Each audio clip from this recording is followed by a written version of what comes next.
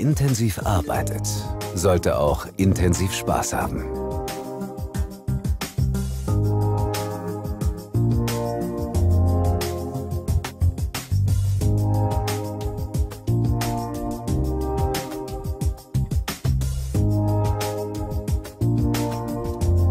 Mit Porsche Entry and Drive lässt sich Ihr Fahrzeug schnell und bequem öffnen.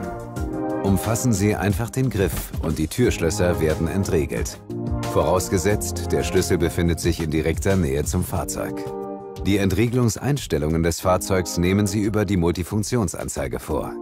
Dort können Sie einstellen, ob alle Türen entriegelt werden oder nur die Fahrertür.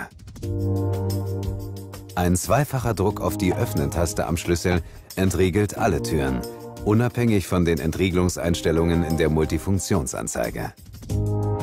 Für den Fall der Fälle der Notschlüssel.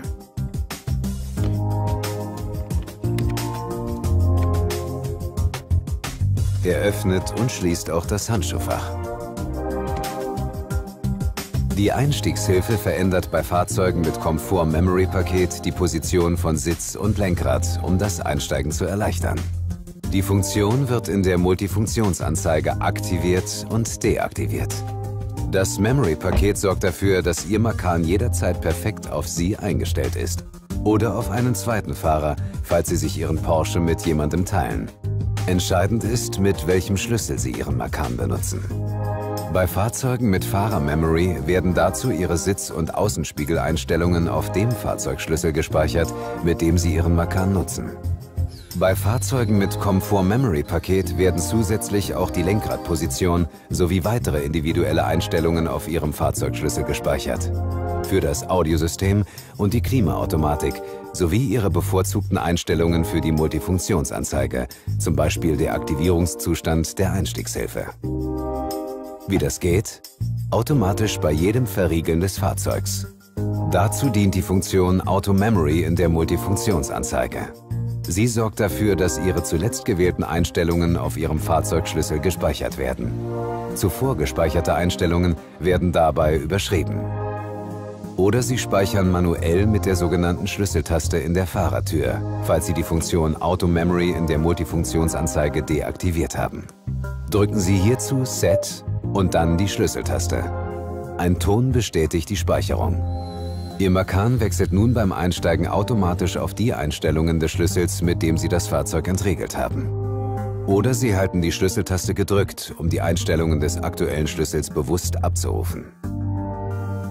Sie können Ihre ideale Sitzposition manuell einstellen, über die Tasten an der Seite des Sitzes. Die Sitzneigung, die Sitzhöhe, die Linksrichtung und Sitzkissentiefe, die Lehnenneigung und die Lordosenstütze. Drücken Sie dazu das jeweilige Bedienelement so lange in Fallrichtung, bis die gewünschte Einstellung erreicht ist. Für die Einstellung der Lenkradposition nutzen Sie die elektrische Lenkradverstellung an der Unterseite der Lenksäule. Ihre persönlichen Sitz-, Lenkrad- und Außenspiegeleinstellungen können Sie zusätzlich zum Schlüssel auf den Memory-Tasten abspeichern, etwa für eine sportliche Sitzposition, die von der auf Ihrem Schlüssel gespeicherten komfortorientierten Alltagsposition abweichen soll. Drücken Sie auch hier Set und anschließend 1. Ein Ton bestätigt die Speicherung. Zum späteren Abrufen der Einstellung halten Sie die Taste 1 gedrückt. Eine zweite Person kann die Taste 2 belegen. Motor starten. Das Zündschloss sitzt, typisch Porsche, auf der linken Seite. Bei Fahrzeugen mit Porsche Entry and Drive finden Sie hier auch den elektrischen Zündanlassschalter.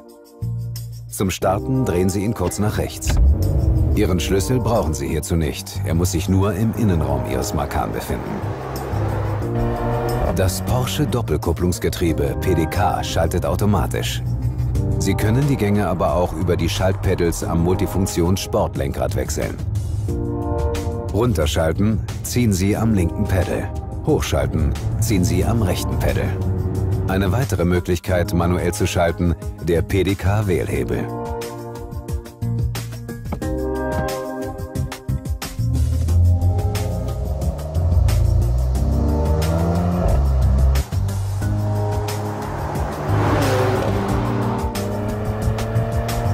In bestimmten Fahrsituationen ist das sogenannte Segeln möglich.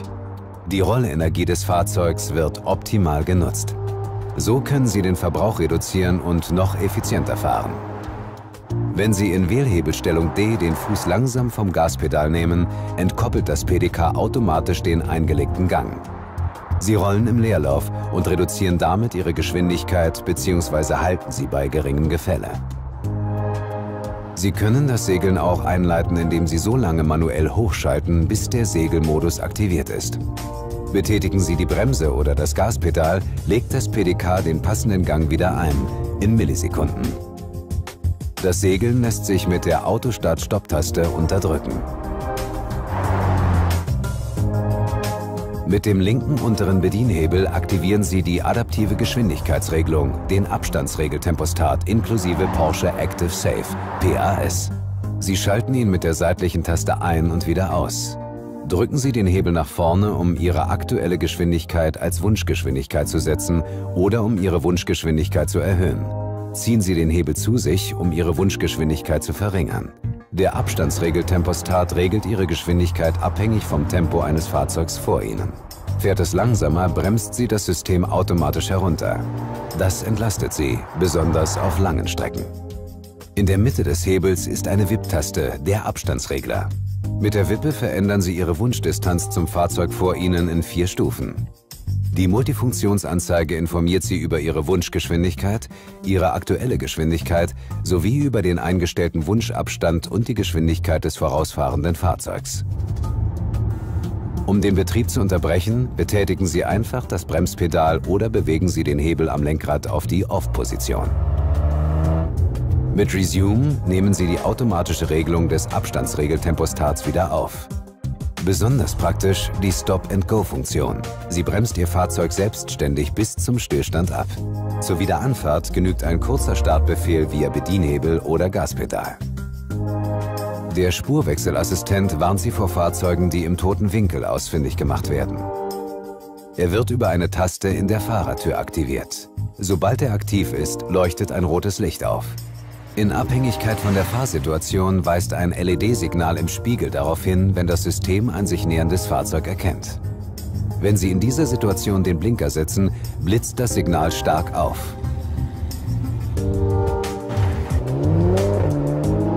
Der Spurhalteassistent unterstützt Sie auf allen Straßen mit deutlich sichtbaren Fahrbahnbegrenzungslinien. Sie aktivieren ihn über eine Taste in der Mittelkonsole. Nähern Sie sich bei Geschwindigkeiten über 65 km/h einer Begrenzungslinie und verlassen dabei die Fahrspur ohne den Blinker gesetzt zu haben, warnt Sie ein Hinweis in der Multifunktionsanzeige.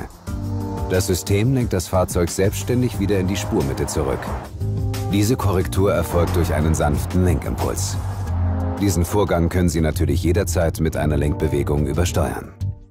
Die optionale Tempolimitanzeige informiert Sie über Geschwindigkeitsbegrenzungen, Überholverbote und deren Aufhebungen. Sehen und gesehen werden, das Lichtsystem. Mit Auto aktivieren Sie die Fahrlichtautomatik. Sie schaltet das Licht ein, sobald es dunkel wird. Mit dem Lichtdrehschalter wählen Sie auch das Standlicht an und schalten das Fahrlicht manuell ein. Außerdem aktivieren Sie mit dem Schalter die Nebelscheinwerfer und die Nebelschlussleuchte.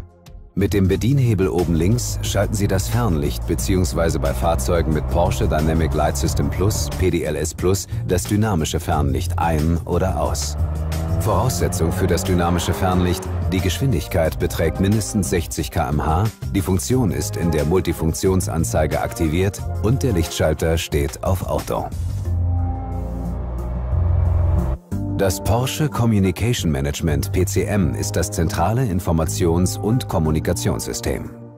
Im Mittelpunkt steht der 7 Zoll große Touchscreen, den Sie intuitiv benutzen können.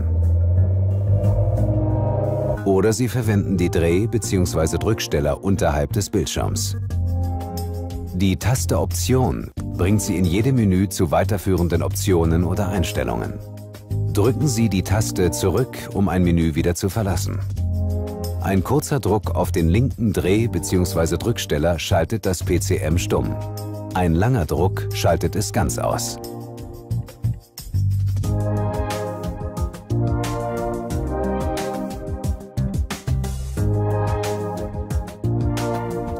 Sie möchten Ihr Getränk während der Fahrt griffbereit haben? Kein Problem.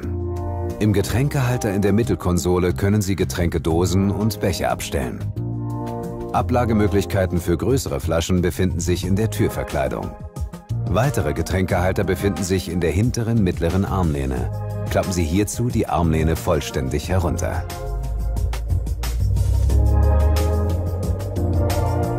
Sie möchten ein Ziel anwählen? Drücken Sie Navi, um in das Navigationsmenü zu gelangen. Die Zieleingabe mittels Touchscreen ist intuitiv und einfach.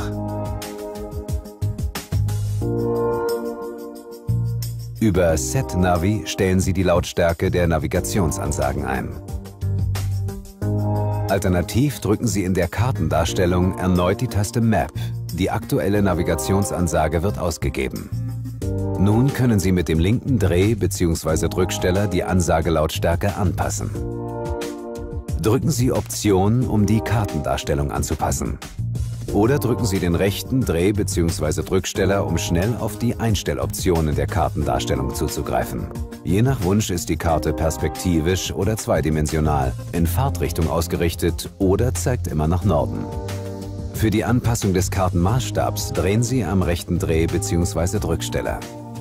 Zudem können Sie sich im Splitscreen-Modus zwei Funktionen gleichzeitig anzeigen lassen, zum Beispiel Karte und Fahrmanöverliste.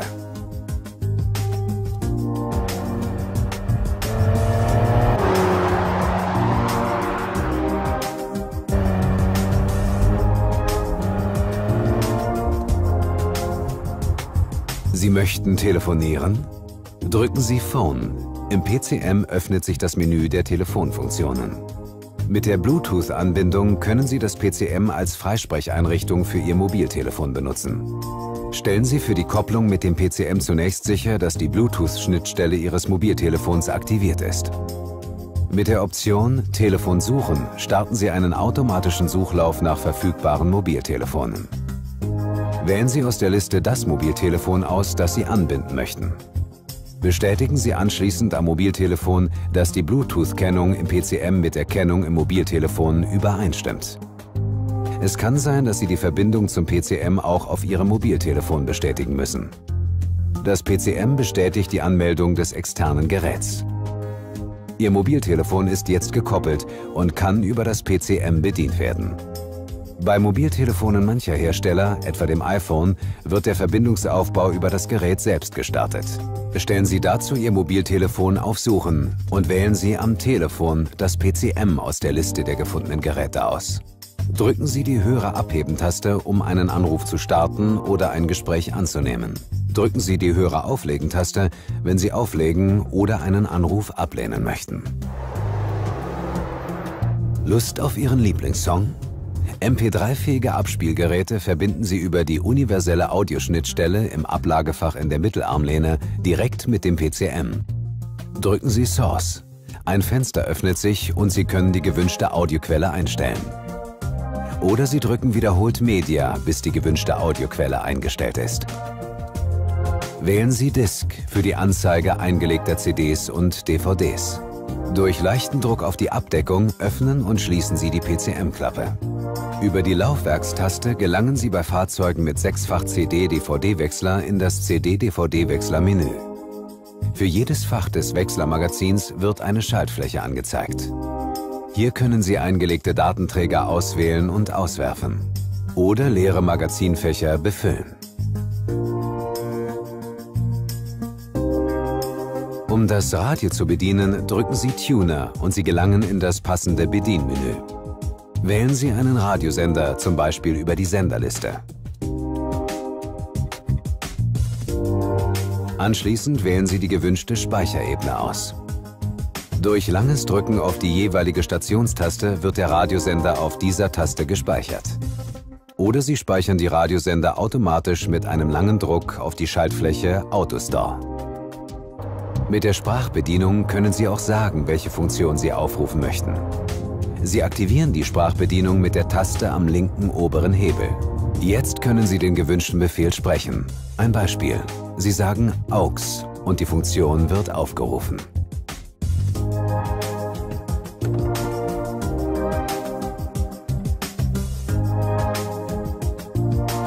Die Lehnen der Rücksitze können zur Vergrößerung des Laderaumes einzeln umgeklappt werden. Ziehen Sie am Entriegelungshebel und klappen Sie die Lehne nach vorne. Die Kopfstützen müssen dazu nicht entnommen werden. Die Durchladeöffnung dient dem Transport längerer Gegenstände. Ziehen Sie dazu die Entriegelungstaste und klappen Sie die Lehne des mittleren Sitzes um.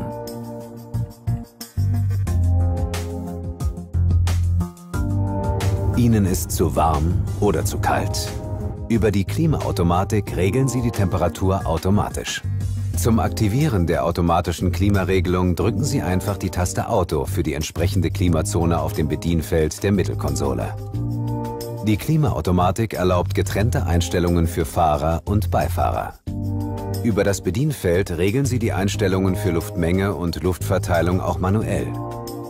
Mit der Sync-Funktion übernehmen Sie die Fahrereinstellungen für das gesamte Fahrzeug. Die maximale Klimatisierung oder den Umluftbetrieb können Sie ebenfalls manuell regeln.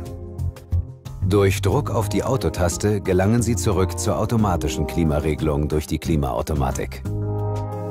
Auch Sitzheizung und Sitzbelüftung steuern Sie mit den Tasten in der Mittelkonsole. Über die Multifunktionsanzeige oder das Porsche Communication Management PCM regeln Sie weitere Einstellungen der Klimaautomatik, wie zum Beispiel die Luftströmung. Wählen Sie die sanfte Luftströmung, werden die Gebläsegeräusche der Klimaautomatik minimiert. Wenn es kühler wird, leistet die Lenkradheizung einen weiteren wichtigen Beitrag zu angenehmen Temperaturen. Sie wird über eine Taste in der Lenkradspeicher aktiviert. Die Passagiere im Fond regeln die Temperatur über die hintere Mittelkonsole mit der 3-Zonen-Klimaautomatik. Das Panoramadachsystem öffnen und schließen Sie mit der Taste in der Dachkonsole. Betätigen Sie die Taste bis zur ersten Stufe einer Bewegungsrichtung, wird das Panoramadachsystem manuell in die jeweilige Richtung verstellt. Die Verstellung stoppt nach dem Loslassen der Taste. Wird die Taste vollständig bis zur zweiten Stufe betätigt, wird das Panoramadachsystem automatisch geöffnet bzw. geschlossen. Durch erneutes Betätigen der Taste in beliebiger Richtung kann das Panoramadachsystem in der gewünschten Position gestoppt werden. Bei vollständig geöffnetem Panoramadachsystem sind in Abhängigkeit von der gefahrenen Geschwindigkeit Windgeräusche möglich. Mit einer zweiten Taste in der Dachkonsole öffnen und schließen Sie das Sonnenrollo.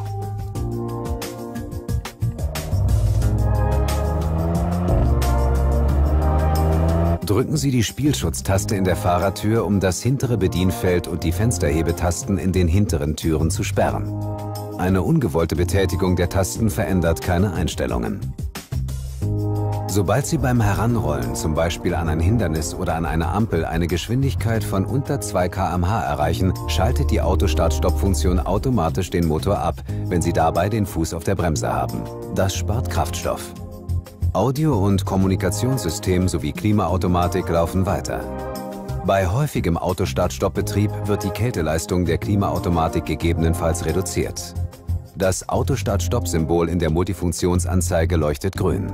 Leuchtet das Symbol gelb, ist die Funktion inaktiv bzw. eingeschränkt. Etwa wenn sehr hohe Anforderungen an die Klimaautomatik gestellt werden, zum Beispiel im AC-Max-Betrieb, beim Rangieren oder bei fahrzeuginternen Prüfabläufen.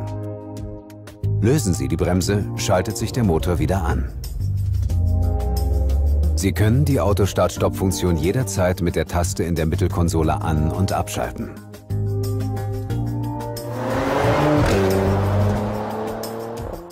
Die Launch Control. Legen Sie die Fahrstufe D ein und drücken Sie die Sport Plus-Taste in der Mittelkonsole. Dann betätigen Sie mit dem linken Fuß das Bremspedal und geben anschließend mit dem rechten Fuß Vollgas. Durch den Kickdown des Gaspedals wird der Launch-Modus erkannt. Dabei steigt das Motormoment. Die Kupplung wird leicht angelegt. Die Anzeige Launch Control aktiviert erscheint in der Multifunktionsanzeige. Nun lösen Sie so schnell wie möglich die Bremse und bereiten sich auf maximale Beschleunigung vor.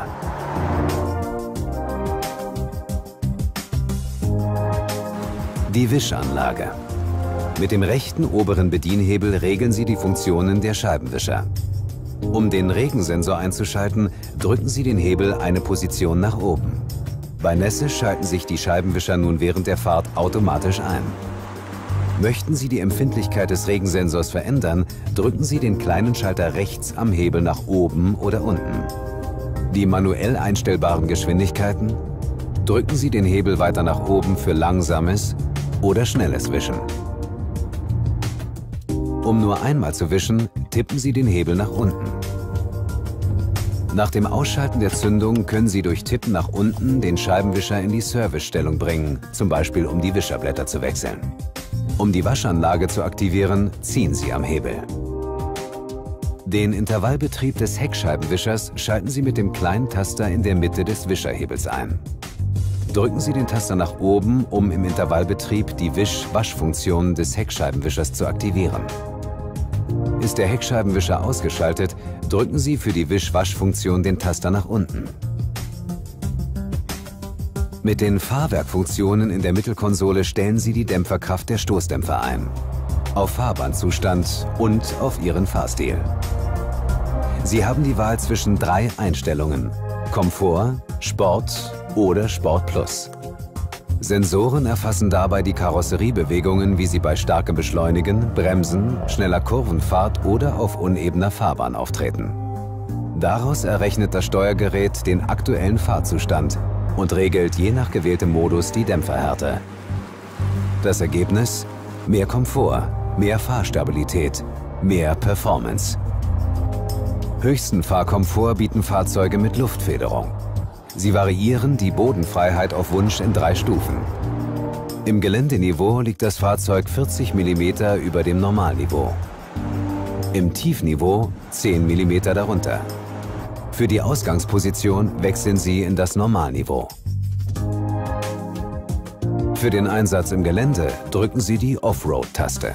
Alle relevanten Systeme arbeiten jetzt traktionsorientiert. Beim Bergabfahren unterstützt sie Porsche Hill Control, PHC, indem es eine eingestellte Geschwindigkeit zwischen 3 und 30 km/h konstant hält. Zum Aktivieren drücken Sie die Taste in der Mittelkonsole. Über das Gaspedal oder die Bremse können Sie Ihre Wunschgeschwindigkeit einstellen.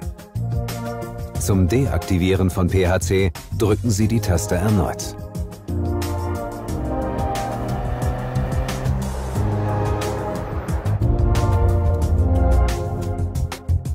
Die Hold-Funktion hält den Bremsdruck aufrecht und sorgt so dafür, dass Sie an Steigungen rückrollfrei anfahren können. In der Multifunktionsanzeige nehmen Sie zahlreiche Fahrzeugeinstellungen vor, zum Beispiel die Uhrzeit. Sie wählen eine Zeitzone oder wechseln zwischen Sommer- und Winterzeit. Ein Symbol in der Kraftstoffvorratsanzeige weist Sie darauf hin, dass sich die Tankklappe auf der rechten Fahrzeugseite befindet. Darüber hinaus versorgt sie die Multifunktionsanzeige mit aktuellen Informationen des Bordcomputers. Möchten Sie Daten ablesen oder Fahrzeugeinstellungen vornehmen, stellen Sie die Funktionen am Multifunktions-Sportlenkrad ein. Das Menü durchblättern Sie per Walze am Lenkrad. Um Menüpunkte auszuwählen, drücken Sie die Walze am Lenkrad. Um im Menü zurückzugehen, drücken Sie die Zurücktaste am Lenkrad.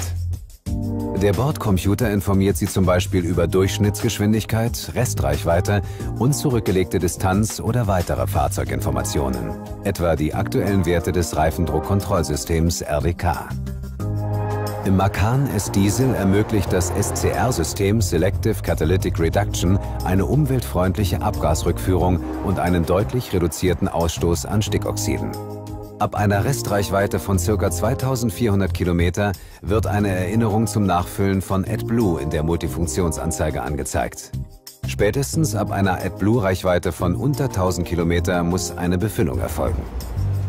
Bevor Sie Ihr Fahrzeug befüllen, stellen Sie sicher, dass es auf einer ebenen Fläche steht. Der Motor muss abgestellt und die Zündung ausgeschaltet sein. Der AdBlue-Einfüllstutzen befindet sich rechts neben dem Diesel-Einfüllstutzen. Benutzen Sie den Radschraubenschlüssel, um die Verschlusskappe des Einfüllstutzens gegen den Uhrzeigersinn herauszudrehen. Entfernen Sie den Deckel des Nachfüllbehälters und führen Sie den Einfüllstutzen des Nachfüllbehälters senkrecht in den AdBlue-Einfüllstutzen ein. Anschließend ziehen Sie ihn im Uhrzeigersinn handfest an. Jetzt den Boden des Nachfüllbehälters leicht in den Tankeinfüllstutzen drücken und dort festhalten. Warten Sie, bis der Inhalt des Nachfüllbehälters in den AdBlue-Tank geflossen ist. Füllen Sie mindestens 5,7 Liter AdBlue nach, was drei Nachfüllbehältern entspricht. Jetzt können Sie den Nachfüllbehälter losschrauben und vorsichtig herausheben. Schalten Sie nach dem Nachfüllen nur die Zündung ein. Lassen Sie die Zündung mindestens 30 Sekunden lang eingeschaltet, damit das System die Nachfüllung erkennen kann.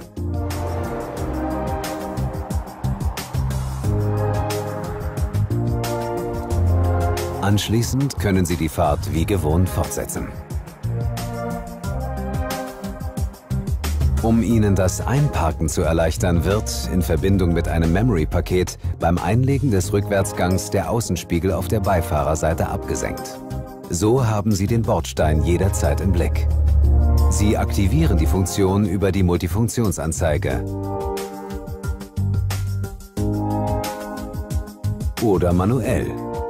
Legen Sie einfach den Rückwärtsgang ein und betätigen Sie die Auswahltaste für den Beifahrerspiegel in der Fahrertür.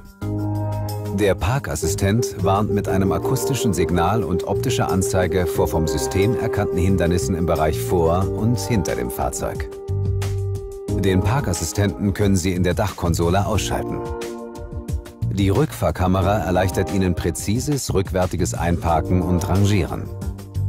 Das Kamerabild auf dem Bildschirm des PCM zeigt Ihnen den Bereich hinter dem Fahrzeug an. Die elektrische Parkbremse dient zum Sichern des stehenden Fahrzeugs. Sie wird durch Ziehen der Taste mit dem Symbol P in der Mittelkonsole aktiviert. Um sie zu lösen, betätigen Sie die Fußbremse und drücken Sie einfach die Taste. Die elektrische Parkbremse erkennt den Anfahrwunsch auch automatisch und öffnet selbstständig, vorausgesetzt die Fahrertür ist geschlossen und der Sicherheitsgurt angelegt. Zum Öffnen der Heckklappe betätigen Sie die Taste am Heckscheibenwischer. Mit Porsche Entry Drive brauchen Sie Ihren Makan dafür nicht zu entriegeln. Es genügt, wenn sich der Fahrzeugschlüssel in unmittelbarer Nähe zum Fahrzeug befindet. Alternativ drücken Sie die Taste in der Fahrertür, um die Heckklappe zu öffnen. Selbstverständlich können Sie die Heckklappe auch über Ihren Fahrzeugschlüssel öffnen. Sie können die Öffnungshöhe der Heckklappe einstellen, damit sie zum Beispiel nicht an der Garagendecke ansteht. Bewegen Sie die Heckklappe manuell bis zur gewünschten Öffnungshöhe. Drücken Sie nun die Taste in der Heckklappenverkleidung, bis ein Signalton die Speicherung Ihrer Einstellung bestätigt. Zum Schließen der Heckklappe drücken Sie entweder die Taste in der Heckklappenverkleidung oder Sie halten die Taste in der Fahrertür so lange gedrückt, bis die Heckklappe geschlossen ist. Wenn die Heckklappe geschlossen und gleichzeitig das Fahrzeug verriegelt werden soll, drücken Sie bei Fahrzeugen mit Porsche Entry and Drive die Taste zum Schließen und Verriegeln in der Heckklappenverkleidung. Voraussetzung ist, dass sich der Schlüssel außerhalb des Fahrzeugs befindet. Zum Verriegeln des Fahrzeugs berühren Sie den Näherungssensor im Türgriff einmal. Ihr Fahrzeug blinkt zweimal. Die Alarmanlage sichert das Fahrzeug. Die Innenraumüberwachung wird aktiviert. Sie können das Fahrzeug auch verriegeln, ohne die Innenraumüberwachung zu aktivieren, etwa wenn jemand im Auto wartet.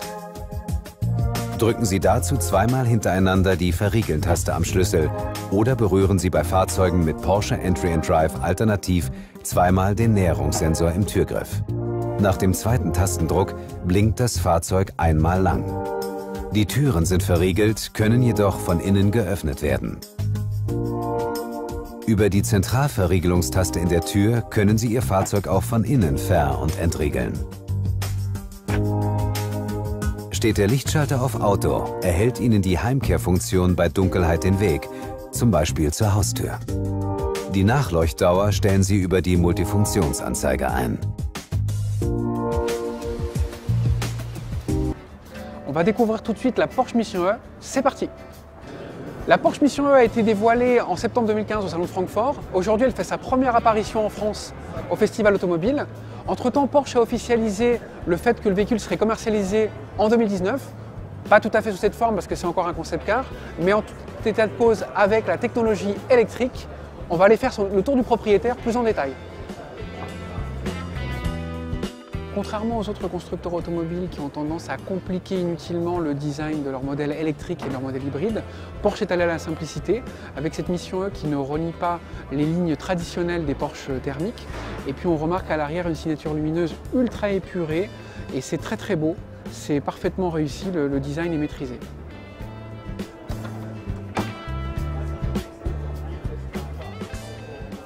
La particularité de cette Porsche Mission E, c'est de loger toutes les batteries dans le plancher. Ça permet d'abaisser le centre de gravité. Alors là, c'est caricatural parce qu'il s'agit d'un concept car. J'arrive même pas à mettre la main entre le fond de la voiture et le sol. La version de série sera évidemment un peu plus haute sur pattes.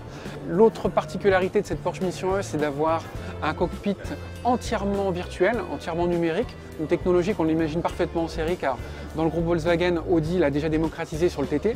Donc euh, la, la, version de série de la Mission E de 2019 aura logiquement cette technologie-là et puis d'avoir euh, des choses très épurées, très aériennes, avec cette console centrale qui est en lévitation au-dessus du tunnel de servitude, et également pour le passager, une lamelle entièrement numérique qui fait écho avec l'instrumentation concave devant le conducteur qui, elle, rappelle euh, la, la, traditionnelle instrumentation Porsche avec les cinq compteurs circulaires. Du concept à la série, il n'y a qu'un pas.